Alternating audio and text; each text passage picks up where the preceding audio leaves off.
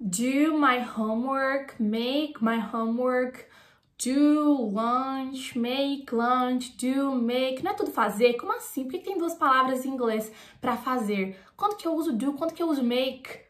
Hello everyone, Be here. Oi gente, aqui é a Bi e eu juntos com a minha irmã Gi somos as gêmeas do inglês, teachers especialistas em descomplicar o inglês para você falar de uma vez por todas. E no vídeo de hoje eu vou te explicar quando usar do e quando usar make. Essas duas palavras que, se você traduzir para o português, significam fazer, mas que tem sim diferença de uso e situação de uso no inglês. Se você ainda não é inscrito aqui no canal, já se inscreve, compartilha com todo mundo, deixa o seu like, é assim que você consegue apoiar o nosso trabalho por aqui. E sem mais delongas, bora começar com tudo. Eu já quero te dizer que, claro que não tem como em um vídeo eu te explicar 100% dos usos de do e de make. Essa nem é meu propósito aqui. O meu propósito é deixar para você claro os principais usos do do e os principais usos do make. E eu já quero começar colocando um conceito que vai ser muito importante na sua cabeça. Sempre que você pensar em fabricar, criar, construir algo, você vai pensar em make.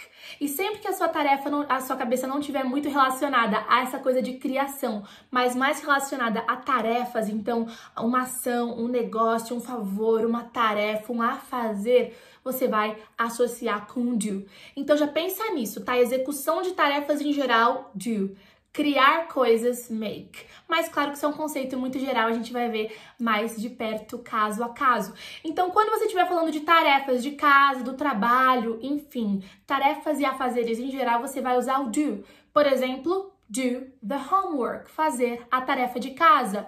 Do a good job, fazer um bom trabalho.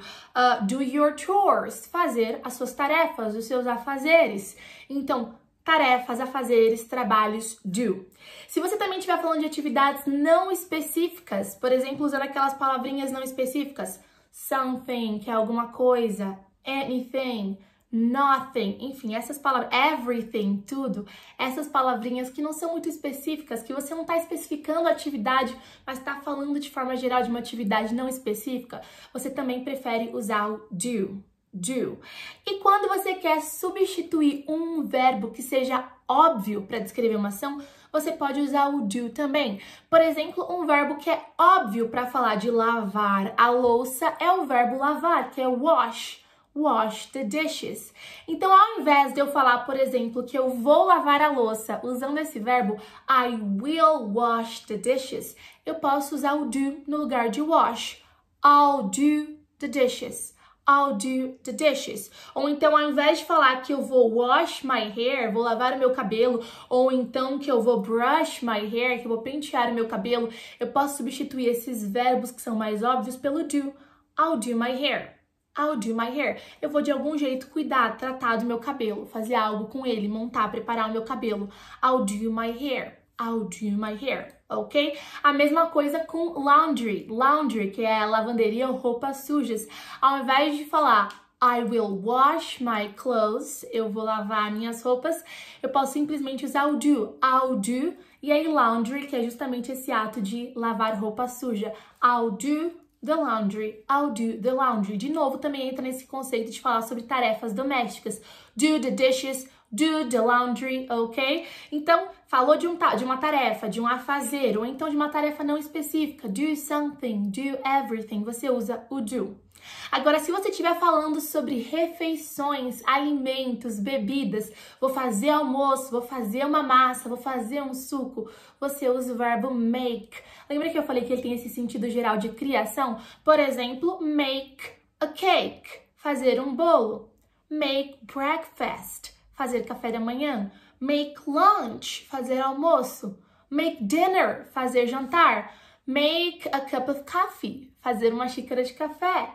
Make orange juice, fazer suco de laranja. Então, uma comida, uma refeição, uma bebida, para você fazer, você usa make. Make. Para falar que algo é feito de um produto, de um material, você também usa o make. No caso, é mais comum usar ele no tempo passado, made. Por exemplo, você vê um colar que está escrito made of gold, feito de ouro. Ou então, made in China, feito na China. Esse é bem comum, né? Aposto que na sua mesa você deve ter alguma coisa que tá escrito Made in China. Inclusive o seu Apple device. Inclusive o seu aparelhinho da Apple, que ele foi ali designed in California. O design dele foi feito na Califórnia, mas ele foi made in China feito, fabricado na China, tá? Então também para você falar que algo foi criado, você usa também o make, no caso que eu falei, mas comum você usar no tempo passado, made, ok?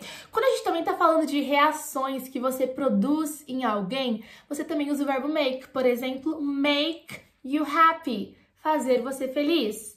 Make you sleepy, fazer você ficar sonolento. Make you smile, fazer você sorrir. Make your eyes water. Fazer os seus olhos ficarem lacrimejando, ficarem cheios de lágrimas. Então, reações também a gente usa o make, porque querendo ou não, você está criando uma reação.